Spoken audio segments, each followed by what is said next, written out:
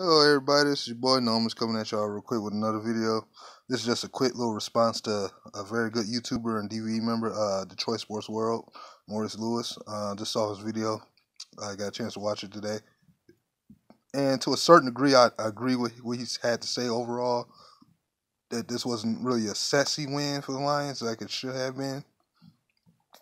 But I think I can explain why it wasn't. Now he says that we didn't run the ball, we kept attempting to run. Yeah, we do still attempt to run too much on first and ten on any scenario, but to me, I think Ameer Abdullah had like a little over fifty yards. And I think Theo Riddick even had some rushing yards yesterday. Rumor, I don't know. Maybe it was another back. Who knows? Uh, I know the Lions overall rushed for over hundred. That's what I, that's what I heard. Rumor has. I admit I didn't see the whole first half. I saw good portions, but I do know this. Cleveland at best in that game, and I'm just saying this out of respect for Cleveland because I know what they're going through as an organization, as and their fan base is going through. Cleveland shouldn't have had 20 points. At the most, they should have had was at best 20 points, but at the best, my expectation for them was to be like 17 points. The reason why they even got 24 points is because you got to understand, y'all. They did the Stafford did throw a pick to I think Jamie Collins. I might be wrong about this too. I think they had real good field position because when Cleveland first draft, they threw a bit bomb to uh he threw a, Kizer threw a bit bomb to Sammy Coates, man, and we shut him down to three. I feel like because that turnover we made, that might have gave them a little more breathing room. Actually, maybe uh because the way they came trying to come at us yesterday they was coming at us with fire. They weren't about to play us easy. So I think they was able to just punch that in there in the end zone against us. So I think they was able to get one on us. We had our couple of turnovers too against them. We gotta remember. I feel like points wise, the Lions did everything they were supposed to do. They were supposed to score over 30. I said I watered down to say 24 to 20 at one point. I said the game was gonna be that close because I said I know the Lions can make things harder. But I feel like Man Beast is right when he says Lions sometimes play up to their competition, but they also play down to their competition. But I feel like the only reason why the Cleveland had it that close is because of that pick. And I know it's some people who feel like that may be unfair to Matthew Stafford. At the end of the day, whether he threw the pick or he was just picked off, that's the reason why they were able to score on offense again and give them opportunity. And this time they cashed in and got a touchdown. Otherwise, if they, if that pit didn't happen, who's to say maybe we wouldn't have scored either? But because we were doing some bad play calling, like you said, uh, Detroit Sports World. But uh, you know, the runs. I think our best run running attacks came in the first half. I think in the second half, you're right. They tightened their defense up, and we shouldn't have tried to attempt it. Except for a couple of times, I felt we should have attempted to run, and it was like I think it was the drive. Ebron was scored a touchdown. It was a second and two situation after a pass and I felt that maybe they should have just handed the ball off up the middle. Instead, he tried to throw it, and his ball was batted down by one of his one of the defense. Was it Myles Garrett or one of the time? But I know he had. It was a few batted passes in that game uh, last night, especially in the second half.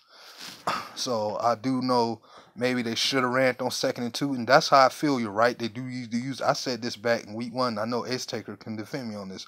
I said Man Beast podcast before. I said maybe they should need to pass the ball to help set up the run so they don't become too obvious. I remember saying that in Man Beast podcast in the Arizona Cardinals game. And that's why I feel uh, I agree with you on that. And they, and they should on second and two they should have chose to run the ball in the second half right there and I feel like they would have had success. Instead, it was a batted pass, and I think they end up converting on third down, which I believe might have been the touchdown play right there on third and two. I'm trying to see, or was it the one Golden Tate did? Because there was a couple of situations where it was like second and short. Stafford tried to throw, and it was a batted ball, and I felt maybe we could have ran the ball on that one and gave it to Abdullah. We could have get those extra two yards on the ground instead of have to throw on third down and we could have a re first down and then throw again. I feel like the Lions had the ability to run the ball, but it's their timing that's wrong. They have to first of all the backups that came in for Lang. I think they did a decent job. Corey Robinson. I know Brian Mihalik has been a surprise for us. Decker was flawless yesterday in his first game of the season. So if they get healthier on the offensive line, and I, if I'm right when I'm right, the Lions can maybe able to run up maybe able to consistently run the ball. To me, the Lions don't have to necessarily get. Uh, my thing was always the Lions don't have to run the ball for 100 yards plus a game. They just need the situational run. They need they need they need to crawl for they walk. If they can at least just run the ball situationally, like Man Beast was saying in one of his recent podcasts, it can be a situational run team because that's what he was saying about man uh, about the New England Patriots. They can just learn to run the ball situationally. Like if, if Abdullah can get them 90 yards a game, that would actually be good because the fact of the matter, Stafford isn't throwing as much, and and then when he is throwing, he's converting and we're scoring touchdowns. So if you can mix it up and work your way into that and take pressure off the defense by running the ball, maybe our defense won't have to be out there so long. And I again, I can agree. Wayne wasn't sassy, but if you just take that interception back from Stafford, I know some people may feel like, no, that's not fair. I mean, a pick is a pick. I know he, he probably didn't throw it, but I feel like it was picked off.